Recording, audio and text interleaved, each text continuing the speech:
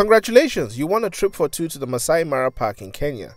You pack all your summer clothes and clear space on your camera because you know it is going to be a trip of a lifetime. You enjoy a first class flight to Kenya and stay in one of the exotic lodges at the park where you can even feed giraffes from the restaurant. Eventually, you make your way to the safari and take as many pictures of all animals you only saw on television. And while living your best life, you somehow come face to face with a territorial, defensive, space consuming beast. You realize at this moment that you are staring at a fully grown hippopotamus. What do you do? That is what we'll discuss today on Africa Assemble. By the way, be a friend and subscribe. Click the notification button to never miss our videos and like the video to help us make more videos you love about our amazing continent. Let's dive in. So before we try to save your life as you are face to face with a hippo, let's just learn more about the hippo, shall we? These seahorses, which is what hippopotamus means, usually weigh over 3,000 pounds or 1,500 kilograms. They can live up to 50 years and really, really love the water. In fact, they spend most of their day submerged in the water, with their noses and eyes conveniently located at the top of their heads. When they fully go under the water, they can hold their breaths up to 5 minutes. However, do not let their physique and cute faces fool you. These animals have teeth that reach 20 inches in length and they are extremely territorial. They kill about 500 people per year and their mouths can open almost 180 degrees, making their chomp snap a canoe or even break a crocodile in half. Do not let their size fool you either. Hippos can run up to 19 miles per hour. So with that out of the way, what would happen if you stumble upon a hippo? Well, it depends truly on how far away you are from the animal. As hippos are territorial, the distance between you and the animal will determine its course of action.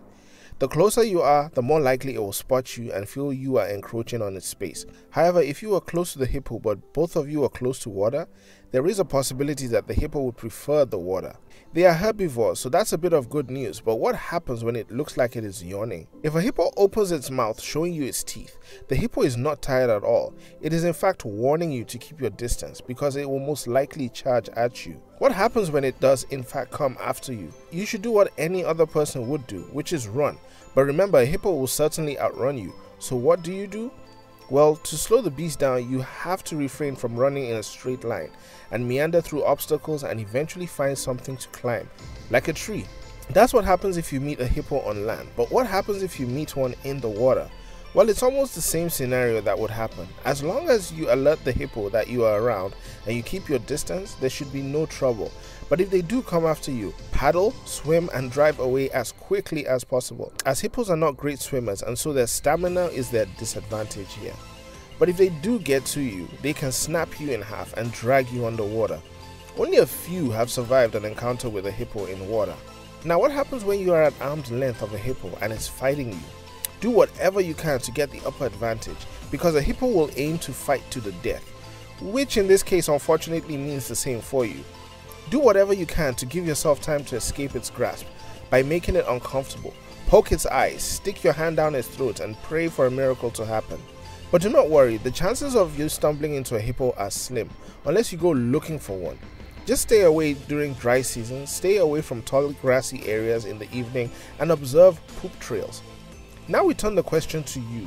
Do you think you can outrun a hippo? It has happened before.